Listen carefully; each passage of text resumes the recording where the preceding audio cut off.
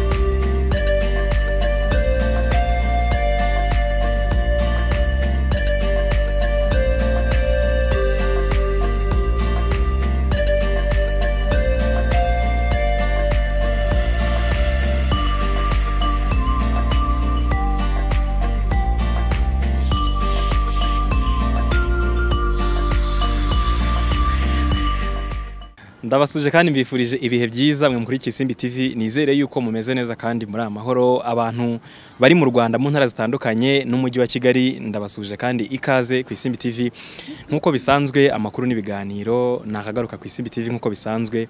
Iyo Nyagasani yadutije ubuzima. Abantu bari muri diaspora sinabibagirwa ah, mu migabane itandukanye mwese mbahaye ikaze. Ndi kumwe n'abakobwa babiri beza. Icyo ni icya mbere. Bemejwe n'igihugu ni ba nyampinga babiri hari eh, uyu nguyu mubona mu mataratara ni amataratara aya ngaya ni nk'ayanjye aya nambaye ni nk'aya neza. Yitwa Jolly Mutesi akaba ari kumwe na Naomi Ishimwe. Eh? Ngo? Naomi nishimwe. Uzima nari mvuze ishimwe se? Wahita uyivumbura. Eh ni iyihe? Kora instagram. Ndi kumwe n'uriya mugabo mubona mu mataratara y'izuba. Iyo mbimenya nanjye nari kuyazana. Eh? Umeze neza rari Meze neza. Umeze fresh? Cyane. Ikaze i Kigali? Urakoze cyane izuba rigufasha rite? Ndaryishimiye. Yego ni abantu batatu tugiye kuganira nabo muraza kumenya impamvu ari batatu. Hari ba nyampinga hakaba n'uyu mugabo nawe ni rudasumbwa. sibyo urakoze cyane. Eh, bahuriye mu muryango witwa Nyampinga Foundation murabyibuka ubushize haciyemo nk'icyumweru kimwe cyangwa bibiri n'igice cyangwa bibiri ntabwo nibuka neza. Njye n'umusore witwa Murindahabi Irene. Wa wundi ukunda gukubita igitwenge akaryama hasi. Batugeneye igihembo gikomeye cyane ku giti cyanjye reka mbanze mbashimire. Byaranshimishije cyane. Na bagenzi banyu bari muri Amerika n'abari mu Rwanda babimenye ko byadukoze ku mutima byerekanye ko um, muha agaciro akazi tuba twakoze kandi n'abanyarwanda ngira ngo nibo batumye bigenda uko byagenze. Reka nshimire nawe by'umwihariko. Murakoze cyane yego Jolly bimeze biteze? Ndaho meze neza. Umwaka wawutangiye neza? Nawe utangiye neza mpumeka ndashima imana. Mm. niki gikomeye wishimira rero? Ndashima imana ko ngihumeka umwuka w'abazima kuko ni cyo kiruta byose. Mm. Mm. Mhm. kabisa ibyo ngibyo ntarabivaho uh, uyu mukobwa yambaye neza. Roba yerekana uyu mukobwa gusa. Umwe. Abandi mubishatse mwamwigendeye gatoya. Babanze berekane Jolly eh? reba imbere barebe neza uburyo wakoze makeup yoroheje ariko nziza. Eh, wow. Hmm? rusa neza. Urakoze gushima ni byiza. Hmm? ikoti ryiza. nubwo ko wambaye neza ugaseka ese buragira ngo njye nzanga kugira ngo gusa mfate compliment nigendere. No gushima ni byiza biranezeza. Wambaye ikoti ryiza kabisa isaha yo wayihishe nta kibazo. Inzara wazikoze neza impeta iyi ntabwo ari fiyansaye nubwo iduhishe urimo uramanuka robert? Aha. Inkweto. Zo ni no comment. Hano ntacyo warenzaho. Ipantaro eh?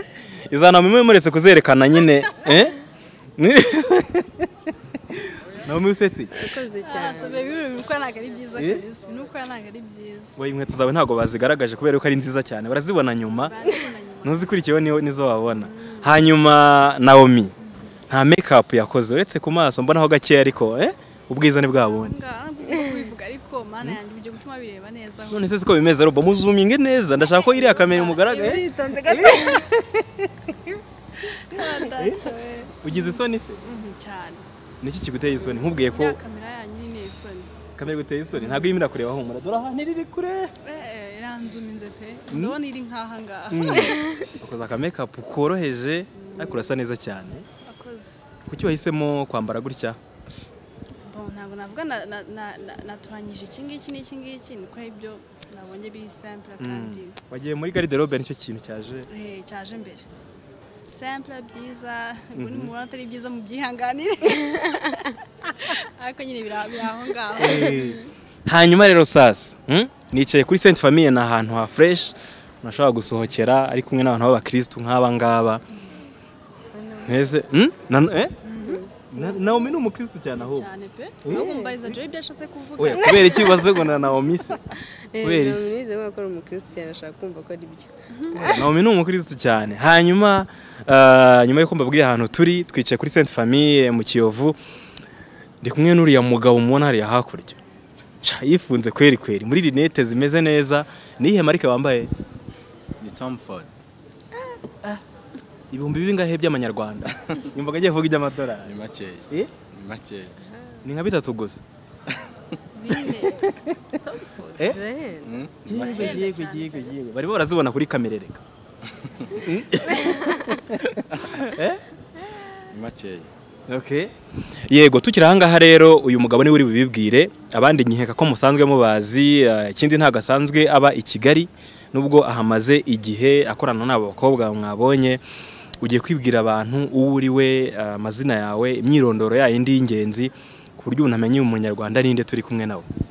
Urakoze sabe nitwa muganwara Mhm, aba ndi umwe mu bagize nyampinga foundation. Mhm. ibi ntibihagije? Imyirondoro. Imyirondoro. Imyirondoro se rirenze iyo Eh? rirenze iyo ngiyo. Eh, cyane. Iki kintu i Kigali utuye he? Mm? Hmm? i kigali. Bakwirebera. Irebera. Eh, mubaze akagari n'umudugudu. Oya oya nagerageza umushyitsi. ndacyari umushyitsi nagerageza shara urukweto ni rwiza kabisa urakoze twajya kugendera ku magi. Hariho akandagiye yewe yewe. Mwakoze sabe uba muri amerika hagana hehe? Mba muri maine. Muri Maine. Muri portland. Abanyarwanda bahatuye bahe peace? nabaramukije bose. Bahe peace gutya nyine? Nabibahaye uri umupapa uri umusore ushobora gusanga abakobwa bahise bagira crush kandi. Hmm? sabe ndi umupapa wubatse ufite n'abakobwa babiri beza. Mhm. cyane. Twitegemo nyampinga muri bibiri na mirongo itatu. Cyane byose birashoboka. Ni beza cyane. Pe? Okay pe? Kuko na mama wabo ni beza kurusha uyu nguyu. Cyane. Babonye. Navugaga jori navugaga jori Eh, okay. kuko bakiri abana. Na nawe Eh. ntago navuga ngo ngo bazaba beza erega kumuruta ariko ni beza Ni beza cyane. n'ahantu Cyane ariko. Eh? ubuse barenze nawomi Ehehe. Hmm? Kambyivugire ubwanjye. Eh. barandenze. Nawomi iyo umuntu akubwiye ko uri mwiza urabyakira ukumva ariko bimeze? Biterwa n'umunsi n'ukuntu abyutse mu gitondo. Uyu munsi si kuwa gatandatu nkubwiye ko uri mwiza cyane. Ntabwo mbyakiriye. robert arasetse n'urimo aragufirima arebye ukuntu uri mwiza abona ukuntu usetse Eh? ntabwo mbyakiriye pe jori umeze neza? Meze neza cyane. Okay Mm. hanyuma rero dutangiye ikiganiro. Dari eh, introduction yawe yari ihagije cyangwa hari ibindi ushaka kurenzaho kugira ngo mu magambo avunaguye? Hari ukuntu bavuga ngo mu magambo avunaguye agafata Atizimbye. isaha. ntizimbye mu magambo. Utizimbye mu magambo. Ndibwira ko iby'ingenzi nabivuze. Ndetse nimba hari ikindi ushaka ko nongera ariko iby'ingenzi nabivuze. Umaze imyaka ingahe muri amerika? Umunani. Umunani. Eh. jori akiri mu wa mbere muri primaire. Eh? hahandi eh, uganda kasese. Yego ariko ntabwo wari uzi kuri Sainte Famille utuye mu mujyi wa Kigali. Na yo kuzisabye kuko imva bamena amabanga y'abantu njye narumiwe pe kandi yavugira aha Wagiye- wa- hmm? Umbwiza ukuri nanjye mba nshaka kubwiza ukuri abantu bagukunda. Ntega ntabwo- nzerera cyane. Ubu ni ukuvuga ko ngewe mpazi Ndazerera. nyine uzi icyo utumva ni Na- Naomi wari uhazi kuri Sainte Famille. Cyane. Tuvuge se ko nawe mazerera icyo kibazo bikimubaza aratembera. Aratembera. aratembera Eh. cyane kumu- kumwubaha we iyo ushaka kuba umuntu ndashaka kwigisha Kigali rero. Ndishimye cyane. Nzabibwira boyfriend wawe kwigisha Kigali. Yego boyfriend. Boyfriend ese ubu ndamufitira nawe nawe. Ntacyo. Reka twikomereze ibyo tuzabigeraho nyuma njye nawe. Eh, Miss Jory eh, tugiye kuganira. By'umwihariko nakoze aka introduction gatoya kugira ngo bamenye impamvu turi hano. Nka Nyampinga Foundation mwatugeneye igihembo. Deja cyangezeho kubera ko ari amafaranga n'ubundi ntabwo mugomba kuyazana ari cash. Ari kuri konte deja eh, twanatangiye kuyarya. Eh, bimeze gute? Kubera iki mwadutekereje unatubwiriremo muri make. Ibya Nyampinga Foundation. Mm, ngira ngo mmereye nabanza ku mpamvu twabatekereje wenda nkabaza kuvuga nyampinga foundation muri rusange. Njye namurinda habi Irene. Wowe na Irene impamvu twaba twabatekereje twe nka nyampinga foundation ni umuryango ugizwe na ba nyampinga bagiye batwara amakamba mu bihe bitandukanye. Ari bo grace uh, aurore harimo doriane harimo colombe harimo naomi nanjye ukagirwa na larry. Wenda twaza kubabwira impamvu na larry arimo. Nari mvuze larry nibuka ko igifaransa atari ibintu byanjye nta kibazo turajya tukavuga tuti lahi larry nawe ni we ukavuga neza nawe mikavuga Ah, lahi urumva ko kavugitse neza ni ibibazo larry njye kavuga ibyo asanzwe menyereye ndeke twivugira rari nta kibazo Larry so ah, ni umuryango rero wenda harimo n'abandi bagenzi bacu batarimo. Ba- bi- bitewe n'impamvu zabo bwite ntabwo ibintu byiza abantu bose babijyamo bitewe n'icyo umuntu ashaka gukora n'inshingano afite. Ariko na zo umunsi babohotse wenda ubwo ubwo bazaza.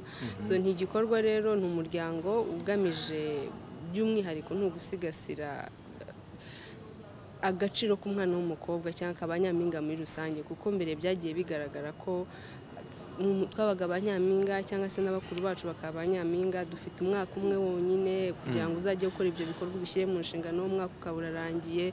So buri muntu agasigaye yibaza se jori yakoze iki? Ese colombe yakoze iki? So igitekerezo rero ngira ngo ari naho nahereye uko cyaje ah, Larry niyo mpamvu arimo hano ari mu bantu ba- bamwerekane uyu mugabo niba eh?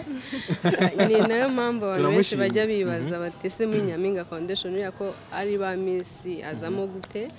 Ah, igitekerezo cyamuturutseho bwa mbere ah, ah, yari asanzwe aziranye na bamwe muri bakuru bacu babagezaho igitekerezo ah, twese batubwira hamwe n'abari hano mu rwanda bihurana n'uko natwe ubwacu twabyumvaga ngira ngo ejo bundi ni bwo nabikomozagaho n'ubundi nanjye na colombe twari twarabitekereje kuba hari ikintu twakora hari imishinga twajya dukorana so urumva ni ibintu byatworoheye ari nawe mafite kuyabyumvaga you know bitewe n'ibihe twari turimo twese tugisamira hejuru tutavamo reka dusangire reka duhuze imbaraga noneho niba buri muntu yakoraga ku giti cye duhuze imbaraga bajya bavuga ngo mu cyongereza ni ho mu kinyarwanda. Mu kinyarwanda. Aha nawe mikabyara mu kinyarwanda ngo arya ngo aho babiri Mm? imbaraga za benshi bibe byose ziruta Eh. imbaraga z'umuntu. Umwe Eh, Mm, ngo umutwe umwe wifasha. Umutwe umwe wifasha gusara. So urumva rero yego nawe mirega akazi. Rega joraza ikinyarwanda ndakizi pe ndi umunyarwandakazi Mm. so rero tu- tumva ko tugomba kunga ubumwe tugashyira hamwe imbaraga zacu tukagira ngo dukomeze gukoresha platform yacu natwe duteze imbere igihugu cyacu mu buryo bumwe cyangwa ubundi kuko baratwizeye baduha amakamba abanyarwanda muri rusange. So rero ni muri uwo muryango twatekereje mu bintu byinshi birimo gukorwa mu mishinga myinshi dufite hari iyo twagiye dukora tureba ko igihe kirageze kugira ngo bitewe n'aho igihe cyari kigeze buri muntu wese ari yihugiyeho buri muntu ari mu bintu bye turimo turareba imiryango yacu abafite abana ariko turimo turatakaza indangagaciro y'ubuntu. Kandi muri make ubuntu n'indangagaciro ya byakagombye kuranga umunyarwanda uwo ari we wese. Usibye n'umunyarwanda n'abantu bose. Waba uri uruhinja waba uri umuntu mukuru waba uri grandpa cyangwa grandma buri muntu yakabaye arangwa n'ubuntu. Tuba rero mu kugira ngo tu- tukongere dukoreshe platform yacu uko dukurikiranwa abantu batwumva reka dutangize campaign yu- yitwa ubuntu campaign. So kugira ngo twongere gukangurira abantu kugira ubuntu muri bo kugira ngo bagare ya ndangagaciro so dushyiraho igihembo runaka ari cyo cyari amadolari igihumbi ubundi byagomba kwegukanwa n'umuntu umwe. So ariko ninjye wagomba kubyegukana. Irene ihangane. Yandiye magana atanu. Ni ibibazo narisi umuntu umwe agomba gutsinda ni umuntu umwe kandi ubwo yari ngewe kuba twarabise muri babiri Eh. hari impamvu. Nuko mwembi mwari mubikwiye Eh, reka twumve impamvu atabaye nge gusa. Cyane. Hanyuma rero abantu wenda bumve n'impamvu twahisemo mwebwe kandi barumvaga ari challenge ari competition. Buriya challenge ntabwo ari garanti ko uwakinnye ari ugomba gutsinda. Challenge twagira ngo bwari ubukangurambaga. Challenge bwari ubukangurambaga. So muri ubwo bukangurambaga rero hari n'abantu babikoze benshi turanabashimira babyitabiriye. Ariko kuki waca kuri wa muntu usanzwe afite ibyo akora asanzwe akangurira sosiyete asanzwe agera kuri sosiyete nyarwanda ari abantu benshi. Ugahitamo nabo bakoze neza. Ariko twari tubona ko byari ingenzi muri abanyamakuru mwakabaye mufite ibintu byinshi mukora mugatwika mu mvugo z'iki gihe mwakabaye ntamwe hari ibindi bintu mureba ku giti cyanyu. Ariko kuba ufata umwanya wawe we nka sabe wenda reka tukuvugeho kuko turi ku isimbi irene nawe twamuvuzeho ukwe. Kuba ufata umwanya wawe ukava mu rugo ugakora inkuru zubaka umuryango nyarwanda ngira ngo muri kino gihe tuzi ko amadivorce amaze kuba menshi iyo urebye ibyo ukora mu by'ukuri nawe ugiye mbona n'amakomensi menshi ku ma instagram yacu abantu bavuga ngo iyo mudahemba bano bantu.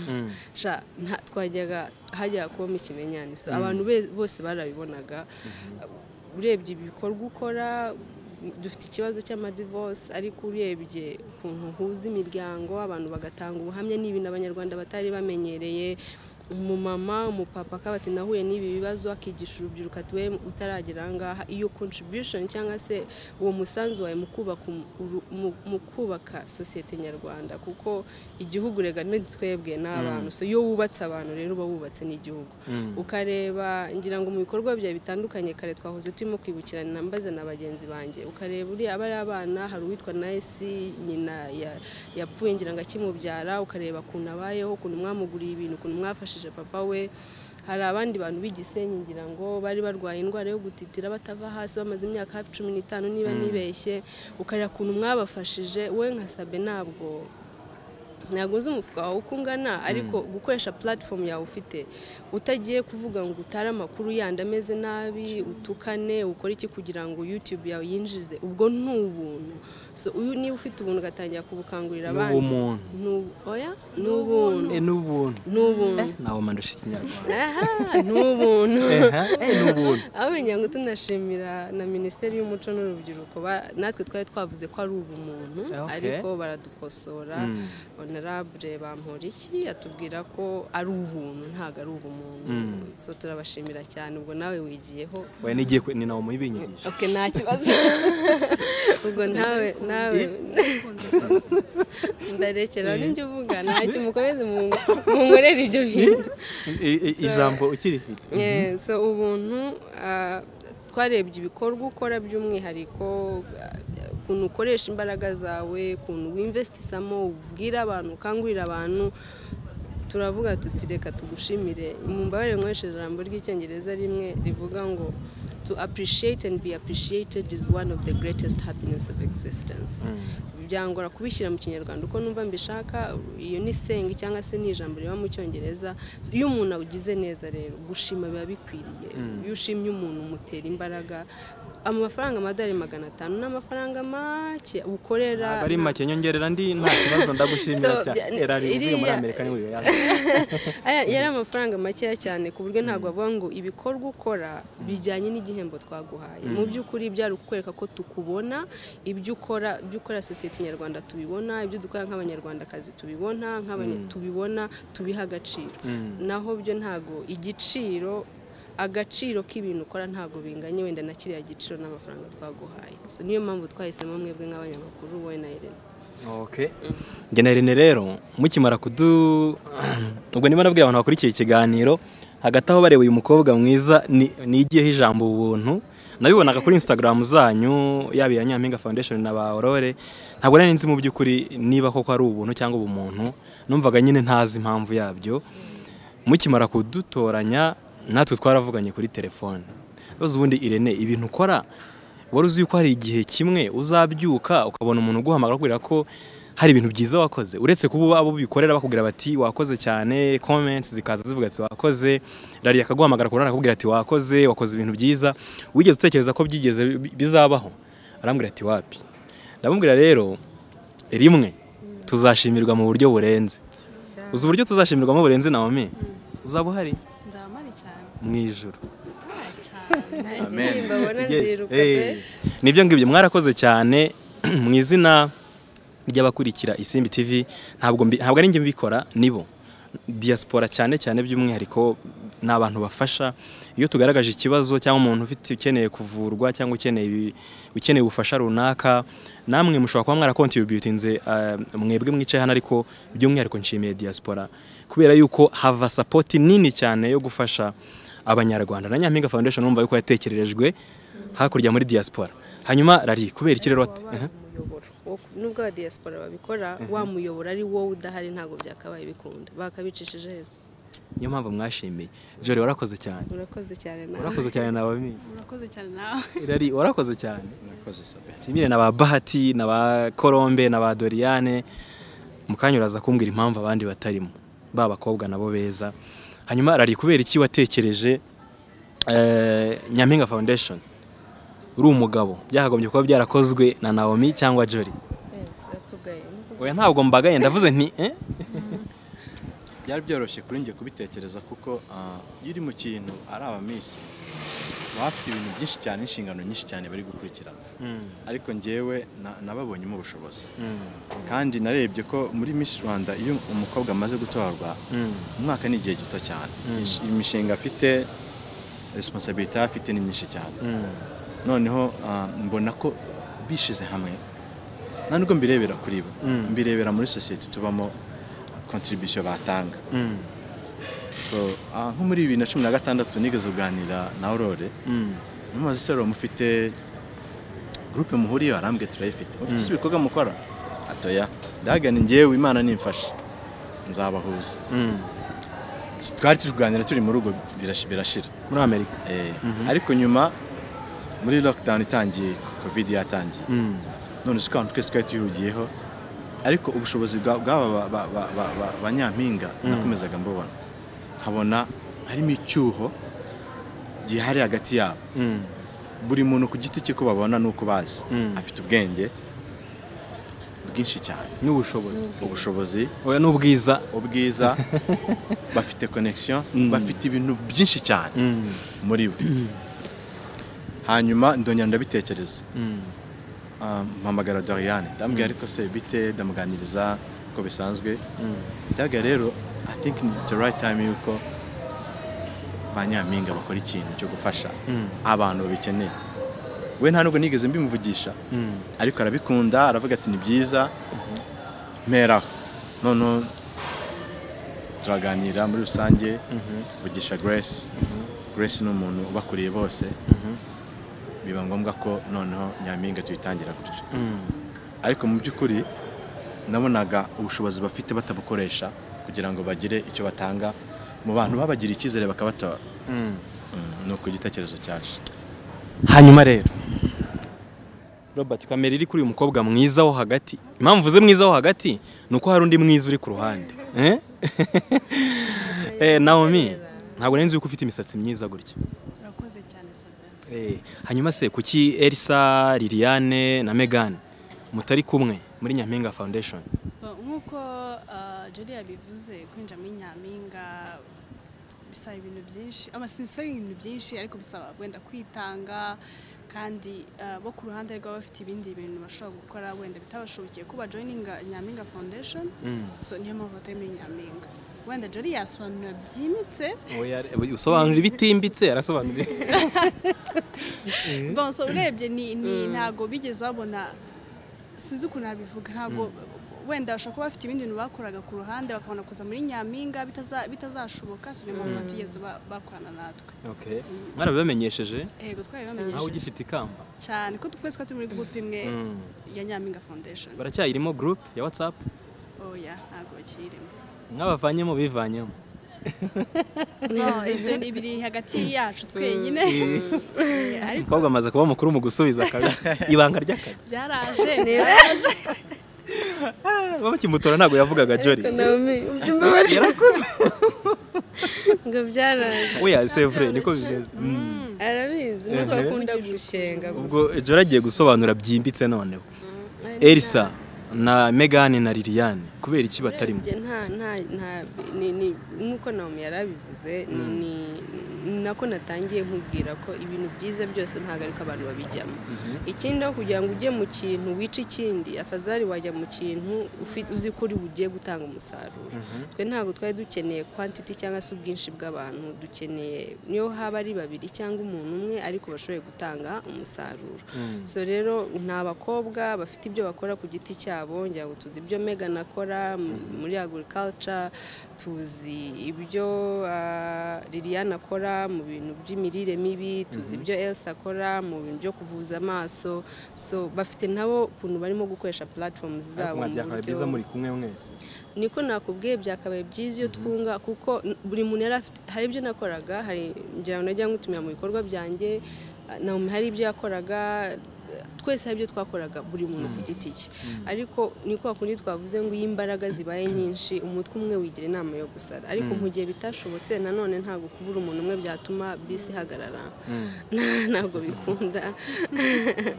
Eh, iyo- ugenda Ntabwo ari nk'uko yuzura. Eh, yuzuye ni byiza abona amafaranga menshi yuzuye kampani itera imbere ariko nanone iyo ituzuye imodoka iragenda ikagera aho yagomba kujya. Rari eh, ni ibiki muzajya mukora muri iyi muri iyi fondasiyo cyangwa muri uyu muryango muri rusange? Mwaraduhembye yego ni na byiza narishimye. Nawe waguha amadolari magana atanu yarya igihe kingana iki? Kuyarya gusa. Eh? nk'ukwezi. Nk'ukwezi. Duke duke duke duke. Umeze nkanjye. Ngenza yarya amezi abiri. Hanyuma rari muzajya mukora ibiki? Sabe ntabwo nagutangira nagutangariza ibyo usaba dukora. Kuko ah, turacyafite ibintu byinshi turi gutegura ariko icyo nakwizeza dufite ibikorwa byinshi. Kandi byiza bizagirira abanyarwanda akamaro natwe ku giti cyacu. Vuba aha ngaha muzayibona ndabikwizeje uzaba mu bantu ba mbere bazayimenya. Muzongera mu mpembe nanone ntawamenya ushobora no guhembwa noneho ikirenze ikirenze icyo wabonye. Okay. Mm, kandi sabe kuguhemba bya mbere ni uku- ni ukumenya no kumenyekanisha abantu ibikorwa by'urukundo Yego. ntabwo ari amafaranga. Ntabwo biba byoroshye kubona umuntu abyuka mu gitondo agaha platform abantu eh, bafite ibibazo bukeye ukabona ibibazo byabo I mean, hari umuntu wagize icyo abikoraho. Kandi iyo na- nta kintu na kimwe uba we expectinga mu bantu. So it's really nice. Hari Byiza hari ikintu cyankozeho nkomoje ku bintu nawe mavuze ni byinshi ibikorwa byinshi ukora. Ariko nabonye buriya buhamya bwa Eliane niba nibeshye ukuntu yari yafunzwe ari umugore wari ufite umugabo ba mu gipangu cyiza ibiki bari abakire. Bari abakire kabisa. Umumama akaza agasanga nta kintu na kimwe afite n'inzu barayigurishije ngira ngo n'ibintu byose. Sinzi uburyo byaciyemo ntabwo mbizi ariko ubuhamya bari bafite ideni rya banki kandi banki ntabwo yakoze ikosa. Mm, niko bigenda ku isi domo Eh, ibyo ntabwo wenda nangiye kwinjira mu, mategeko yandi ntabwo nayize.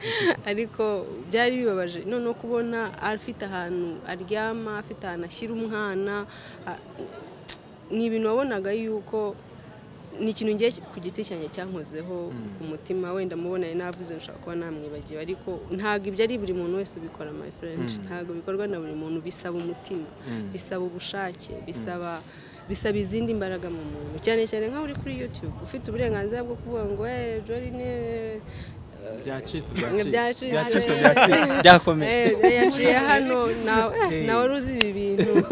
Eh, ukabona views uka- bakakwishyura. Ugafata umwanya ukajya gukora advocacy. Ah, navuga ko ubukangurambaga kugira ngo ufashe abantu ni bangahe se twese ko tuzi sosiyete zacu? Hanyuma nawomi ku giti cyawe. Eh, sinzi niba ureba ibiganiro dukora ariko ni nk'ikihe kiganiro nibura kimwe? Warebye ku isimbi ukavuga uti hari icyo gihinduye ku buzima bwanjye cyangwa ku mitekerereze yanjye? Kuko ngewe niwo murongo nahaye isimbi. Gukora ikiganiro nubwo wenda amakosa atabura ntabwo ndi perfect. Hatagira umuntu uvuga ngo nikinnye? Usibye ko nikinnye nabwo ntawankina Naomi ni nk'ikihe gifite icyo cyaguhinduyeho muri wowe?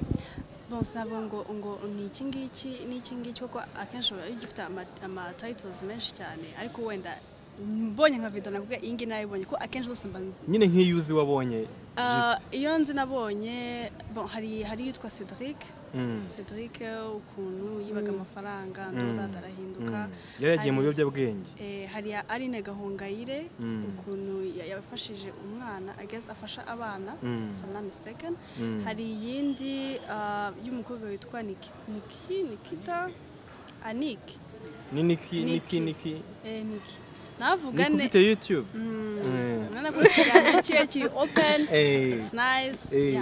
Muri ibyo bitatu nyine. Okay ariko urebye amavideo yose ndareba. Eh. eh? reka tubaze noneho utangije iyi nyampinga foundation. Rari ni eh, bakwita Larry, Eh? Larry, uko wabishaka. Eh. ni nk'iyihe video cyangwa ikihe kiganiro warebye? Ku isimbi ukavuga uti aba bantu nubwo babonye kuri lise yabo tuzahemba ko bakoze bagize ubuntu eh, muri sosiyete nyarwanda ukavuga uti nyine koko wa mugani hari ibintu bizima bakoze. Ni nk'iyihe? Sabe narebye ibiganiro byinshi by'isimbi byinshi cyane. Ariko hari icyo nabonye mwagiye gusura famiye irimo abana batabasha guhaguruka bat- batitira Eh, byankoze ku mutima cyane. Na- byatumye ntekereza ko ngomba gushima imana ukomeze nuko nshobora kugenda nta burwayi mfite. Byatumye ngutekerezaho cyane umwanya uba wafashe sabera byinshi wakora. Ariko kuba wafata urugendo rungana kuri ukajya hariya ufite ubuntu muri wowe ufite n'imana muri wowe sabe niyo mpamvu nakubwira ngo ibihembo byawe uzayibona hano no mu ijoro Eh, narebye byinshi ariko kiriya cyankoze ku mutima cyane. Twitege ko nyampinga bazajya bakora ibintu nka biriya byo kujya kuvuganira abantu kubafasha. Ni nkabyo pe. mutubwiye ko mutabivuga ariko ni nkabyo ni hari ibikorwa byinshi bya nyampinga tumaze gukora. Nusubira inyuma mu mavideo mu byo twagiye dupostinga urasanga nta bitaniye n'ibyo ukora. Okay. kuba rero turi kumwe hano ntago ntago biri bifite impamvu. turamwifuza nk'umupariteneri mu Eh. rugendo Mm, mm, ngewe rwose ndi tayari. Sina, eh? tayari. Uretse Naomi eh? dufitanye amasinde mbivuge. Eh? nuko nagutumiye mu rugo ntuze kandi birumvikana twavuze umunsi tuza nari mpari nari mpari. Eh? Eh? amasinde yakemuka nari mpari sabe yakemutse Aha. yego turagenda tugana ku musozo by'umwihariko. Rari ahantu utuye eh, dufite ba nyampinga mu rwanda kandi bafite ibikorwa byinshi byiza pe. Bakoze dufite n'abandi ba nyampinga batambitswe ikamba nk'iryo nawomi afite ariko nyine b'abanyampinga. Nanjye nambayeho. Eh, wambayeho? Mm? ese biba bimeze gute kuryambara isheje yabajije perezida ngo tubwire kuba perezida bimeze gute? Muri press conference yubushize umbwira donc eh, eh, bi- bi- biryoha bite kuryambara? No biraryoha cyane. Ahantu biryohera ni ukubona. Ngo cyane? Eh, biraryoha. Cyane ariko cyane. Nabyo niba ubizi kurushaho. Buriya ikintu cyitwa guhindura sitati ni nk'uko nakubaza ni kuba umupapa wari umusore bimeze gute? Eh, ko biryoha?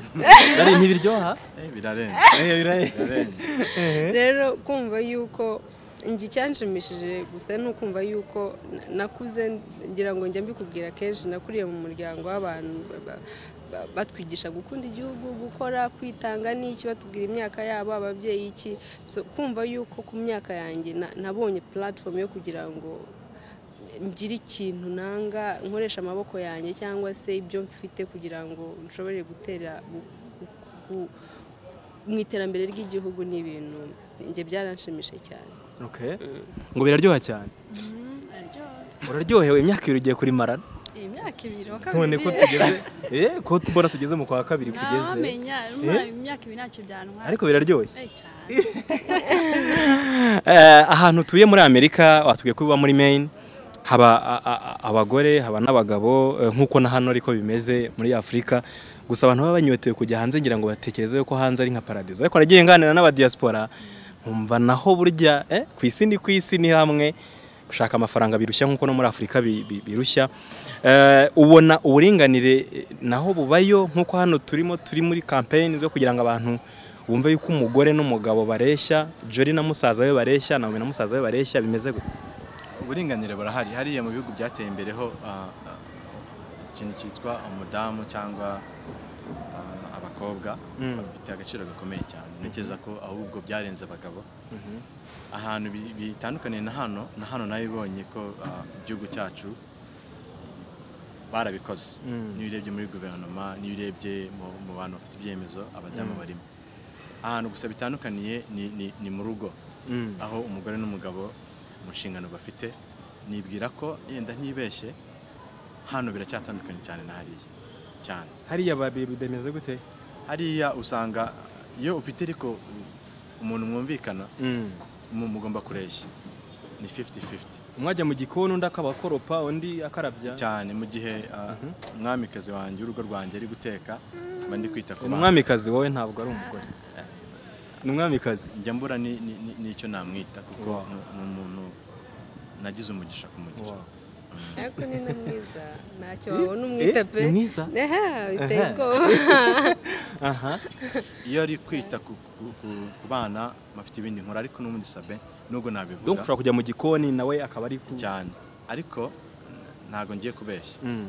ibintu akora nshobora kuba nkora nka makumyabiri ku ijana y'ibyo akora Kandi hari uburinganire kubera iki? nubwo buhari Mhm. harimo ikintu reka nivuge ndi umugabo dufite tugomba gushyiramo ingufu kugira ngo gihinduke Mhm. ni urugero iyo mu gitondo mbere y'uko tubyuka twese tuba tunaniwe. Ariko arabyuka mbere agategura breakfast aki- akareba abana ko habyutse ari bazima ushobora kubona nimba nkiryamye. Kandi atari uko Jolly reka kuderanje. Nubwo kamera itakuri wowe ngenda bivuga atari uko nanjye ntabishobora. Ariko ndimo ndabyiga. Nkaba nkangurira n'abandi bagabo ko abamama baravunika cyane. Mm. cyane ku buryo ntabona uburyo mbivuga. Baravunika cyane cyane. Cyane cyane. Ku buryo ntabona uburyo mbisobanura. Tuzajye dukunda abamama bacu tububahe Mm. tu- tu- tumenye izo mvune bafite n'izo bagize. Mm. Mm. Naomi ku giti cyawe. Ehehe, ku giti cyawe. Iyo urebye nko mu rugo papa na mama ubona bavunika ku rugero rumwe mu rugo turavuga mu rugo kuko mu kazi buri wese afite ako akora kandi nako kavunnye mu rugo ubona basharinga donc inshingano nk'uko uyu mugabo wicaye ibumoso bwawe bivuze cyangwa ntabwo basharinga. Bongeye ku giti cyanjye ababyeyi banjye bose bara- baravunika. Ariko wenda mu rugo mu rugo mu rugo eh donc muratashye nimugoroba mu rugo urimo urareba televiziyo umukozi aratetse cyangwa wowe uratetse? Mu rugo nyine umu- umubyeyi ni we uvunika aravunika utekereza bose rega ni ababyeyi. Umu- umumama umugore. Eh, Eh, umugore ni we uvunika cyane urebye iwacu turi abana batanu. Mm. Wumva yatureze twese tu- tu- tu- tu- turakura wakarabye warwaye wagize ute mwa- mwariye iyo urwaye noneho ukanga no kurya. Mm, arahangayika. arahangayika pe. Kandi umupapa ashobora kuryama akavuga ati mfite akazi ngomba kuzinduka. n'abapapa n'abapapa wenda ntabwo twavuga bose ariko wenda hari hari bamwe bashobora kuryama hari n'undi ushobora gukora ibyo umugore yakagombye kuba ari gukora. So ha ndumva ibintu uyu mugabo rari avuze rero bidatandukanye n'ibyo uvuze. Reka twumve noneho wa mujaji wanjye. Miss Jolly ni umujaji muri Miss Rwanda. Ah, mu by'ukuri bimeze gute Jolly aho utuye ah, eh, ubibona gute wowe? Aho ugenda mu mafamiye? Ubona ko ko hari uburinganire abagabo n'abagore bagabana inshingano cyangwa biri mu nyandiko gusa? Uko ntabivuga navuga ko ari urugendo u rwanda ni intambwe turimo gutera. Ni urugendo twatangiye ariko ntabwo turagera aho tugomba kuba turi. So ni urugendo turimo ah, wenda uko byerekana statistics cyangwa se n'icyerekezo ubona bifite birerekana yuko hari icyizere yuko hari igihe bizagera ukabona yuko uburinganire dushaka koko burahari. Gusa ni- ni- birasaba ibintu byinshi cyane. Ni uguhera mu kurebera muri ango zose mu bintu byinshi bitandukanye kugira ngo intego twihaye. Gusa navuga ko bitari bibi cyane. Mm. si bi- bibi cyane. Uri wagera mu cyaro urebe ukuntu bimera. Mu cyaro wenda ntabwo ndafata ntabwo ndafata eh? umwanya wanjye ngo njye gukora wenda investigation. cyangwa ngo mbaze ngo bimeze gute. Ariko amakuru dukura mu bitangazamakuru amakuru dukura mu bantu babegera ubona ko hakirimo harimo intera kandi ngira ngo kare twahoze tunabivugaho ukuntu uvuga ngo njye ngiye kuvuga ikibazo cy'uburinganire cy'umugore n'umugabo. Turimo turarebera turimo turarebera mu kubona abagore bafite opportunities zingana n'abagabo mu kazi turimo turareba ngo nuko umugore agomba kuba CEO ariko nyamara ibintu byose nk'uko babivuga bipfira mu iterura nahoze mvuga ku kibazo cy'umuco nta ntabwo wenda ndi muri timu ya rarike cyangwa iki ariko ubona ko n'ibintu byose ha- harimo n'ikibazo bijyanye no kuntu abana kuko wa mugore ushaka ngo azabe CEO cyangwa wa mugabo ushaka ngo azahe opportunity umwana w'umukobwa cyangwa se umugore ngo nawe amuzamure mu kazi. N'ubundi yari umuhungu yari umukobwa. So nitudahera umuryango nibidahera mu muryango ngo bihere muri parenting bihere mu burezi wigisha tuka- tukabigira ibintu bihoraho kuvuga ngo umuhungu yubahe mushiki apana kuvuga ngo ngo ngo ujye wubaha musaza wawe ngo ntugashinge kuri musaza wawe ngo ntukibambarike kuri musaza wawe. Hari imvugo na zo ubona Eh. bigoranye kugira ngo nukuze umwana ameze gutyo ukavuga ngo umugore agomba umukobwa agomba kujya mu gikoni umuhungu hari ibintu atagomba gukora uza ni bya bindi ugera hanze nyine cyangwa ukumva yuko n'umugore wawe narwaye ushobora kuburara cyangwa ntushobore no gutekera abana ngo ni uko uri umugabo usanga abagabo benshi ikintu bazi guteka ari kimwe. Ari amazi. Mu karu. So, no, ibintu babirebere. Nawe ntabwo wari ubizi se abenshi bazi guteka mu karu. Gusa. Eh? So, Joy duhere- nushaka umugabo. nushaka umugabo. nushaka umugabo. Muzaringanira uzajya umubwira uti ejo ni wowe mu gikoni uyu munsi ugiye ngomba kurera. Donc ni ho mva bizagenda azaba umutware cyangwa uzashaka umutware cyangwa uzashaka umugabo gusa. Kuko we ugize ko afite umwamikazi. Wenda nimba nashatse reka ariko duhera kuko na byo ni ibindi. Gushaka ni ibindi? Gushaka na byo ni ibindi. Ni- ni- nimba Ariko uzashaka. nshatse navuze ko nimba nshatse. Ariko ko nyine uzashaka. Nimba nshatse. ntabwo umuntu uzagutereta ariko uzashaka. nimba nshatse rwose ko ari amahirwe wenda Eh. nta you know? Nimba nshatse rero ngira ubwo buntu bwo gushaka koko bikaba nibwira ko nifuza gushaka umuntu tuzaba twumvikana twubahana. Apana kuba ari umutware ukaba umugore. Tugomba kubahana gusa ni cyo numva cy'ingenzi muri rusange. Ugomba bizarangira ujoyininze igisirikare ngomba kuguha icyubahiro nawe ugomba kumuha Eh? icyubahiro rata nawe ntuzashaka umutware? Nzamushaka. Agomba kuba ari umutware. Agomba kuba ari umutware. Nawe ukaba umwamikazi mu rugo. Urarizi ko bimeze? Bakajya bamvuga gutya Mm. niko bimeze. Buriya ibintu byose nk'uko Jolie yabivuze bitangirira hasi. Ariko n'ubu dushobora kubihindura. Mm. sabe ndabizi ufite uh, umwamikazi wawe mubana mu rugo. Hari ijambo ba- abantu bakunda gukoresha. Jolie kubipinga niko bimeze? Wenda Eh? Eh. hari ijambo bakoresha. Wanjye. Eh. ngo umufashe ntabwo ndikunda cyane. Mm. ni gute wita umwamikazi w'urugo rwawe? Buriya rega nk'uko abanyarwanda babivuga umudamu ni ikintu gikomeye. Mm. umwamikazi reka niryo jambo ngiye mbona ribakwiriye. Mm. umwita umufasha gute? Urebye mu- nshingano z'urugo akora ibirenze ibyawe. Be opposite. Kuko tuvuge abagabo dufite ibyo dukora byacu turabitekereza cyane. Sinanze ko tuba Ese kubera iki abagore badatekereza cyane? Nabo baratekereza cyane. Ariko na- na- navuga ko navuga ko ingabire marie immaculée ati "Umugo- umugabo yakora umugore yakora akantu ngo uri akagabo. Kandi ari umugore. I know. Eh? sabe uzi impamvu? Mm. sosiyete tubamo. Mm. ya- ya- ya- yarabi ni nko kubirema. Mm.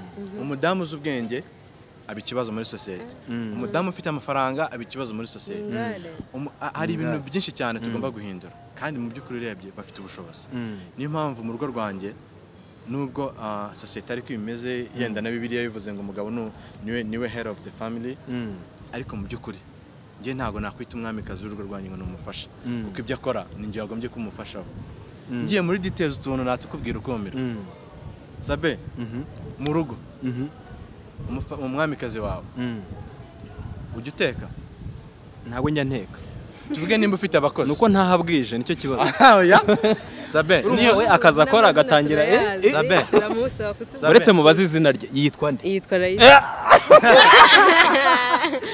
Jora arabeshya data ubu uzi niko yitwa ni uko yitwa nyine. Nitwa oya uretse se naomi izina rye yitwa nde? Rayisa Naomi wari umuhanga ngo mu kura censi eh mbega abakobwa bangambaniye urumva sabe. Eh. Ndikubwira ukatubwira, ntabwo nteka. Mm, ntabwo uteka Mm. ushobora kuba n'umwamikazi w'urugo rwawe adateka afite abandi bantu bamufasha. Mm. ariko we agira gutegura ibiri butekwe yaza akakugaburira ni we ureba ngo ameza asa nabi Mm. abana ni we ubitaho. Mm. yarangiza aba afite inshingano zo kukwitaho Mm. uwo muntu koko akubashije. Wengeye ndasasa nanjye nkagira gute? Nuko mwatuma amena amabanga Jolly ahari. Kandi Jolly yambwiye ko gushaka kwe atarenza bibiri na mirongo ine. Siko bambwiye Nese waharenza? ni- ni- ni- ni- ni- nimba mbikoze kuko na byo simbizi. Nawe mpita umusengera ariko ibintu urari avuga uremeranya nawe?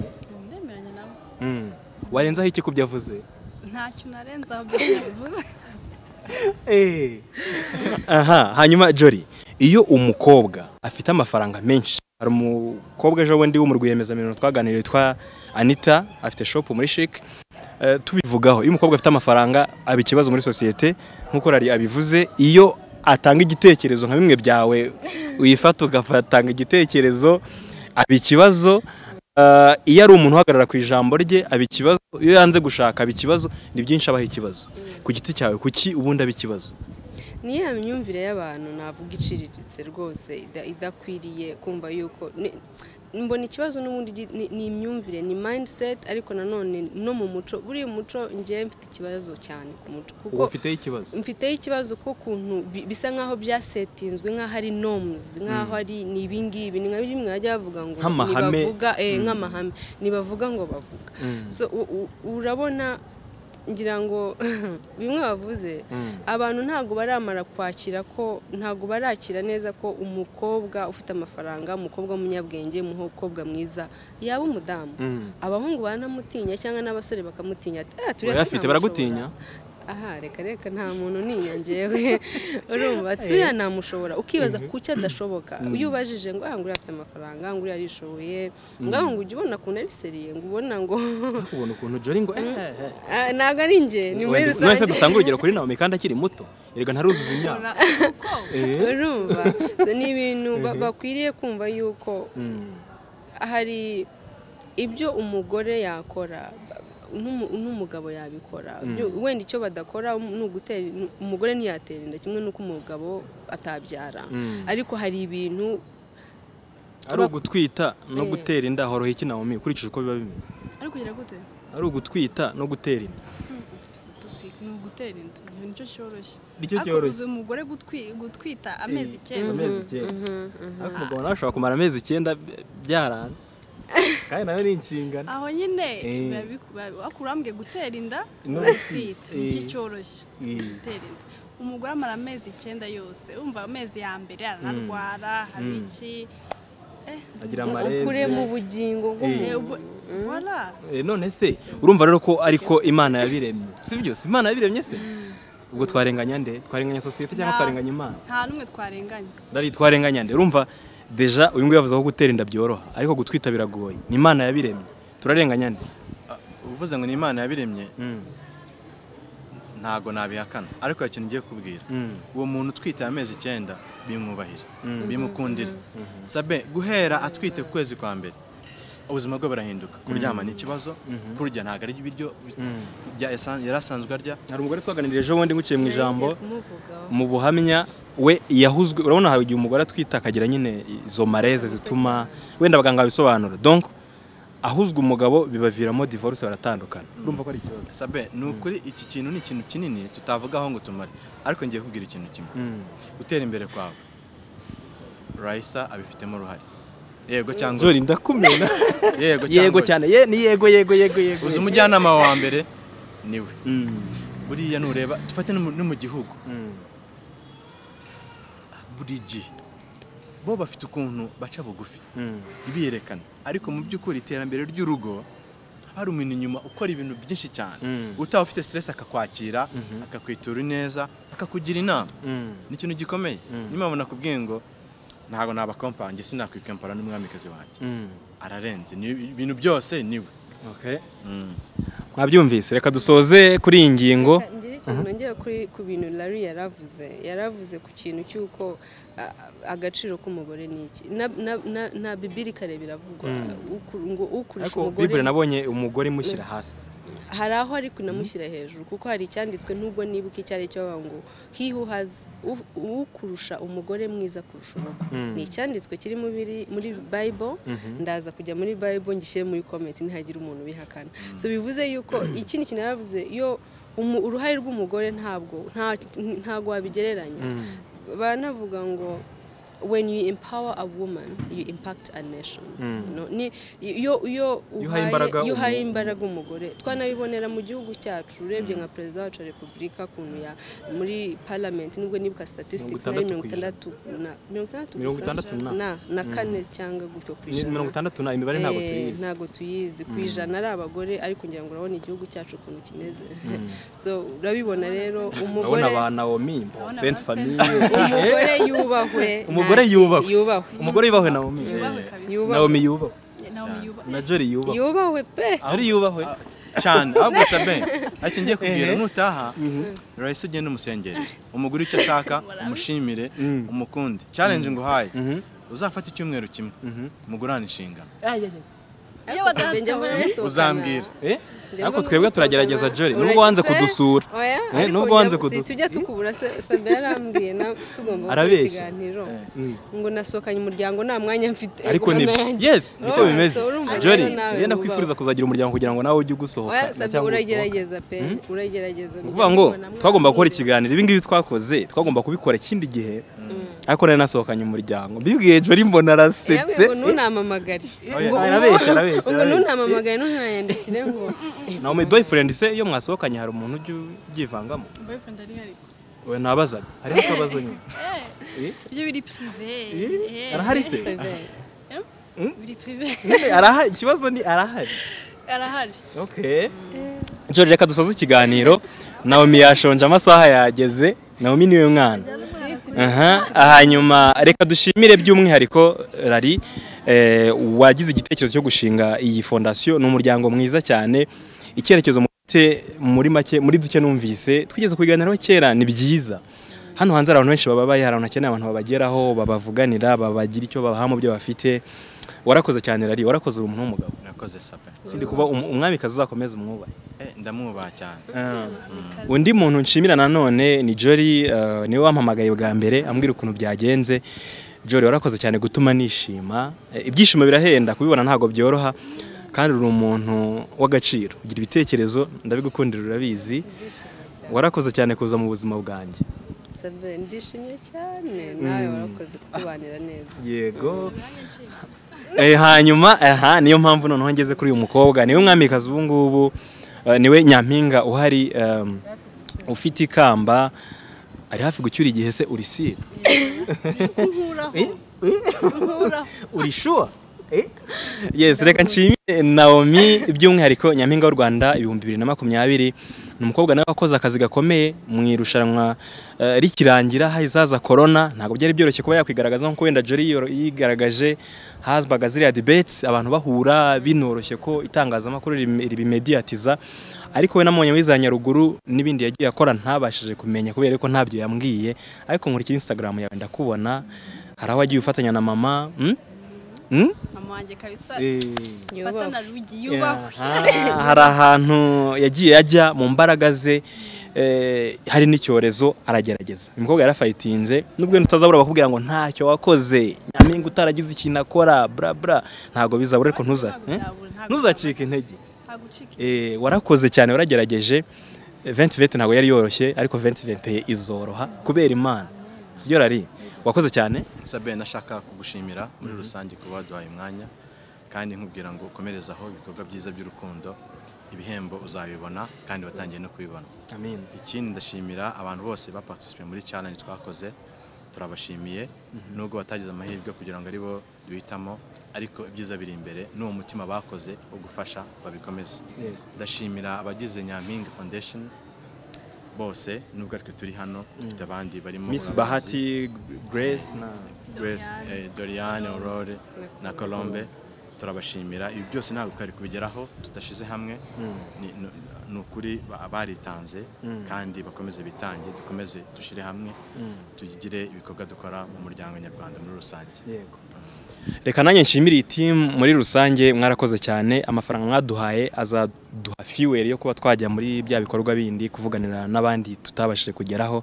2020 natwe twagi- twagerageje gushyiramo imbaraga zishoboka kugira ngo ibintu bizagende neza kurushaho. Mwakoze cyane. Amahirwe masa nyagasana akomeza abareba icyoroshye. Murakoze Sabe.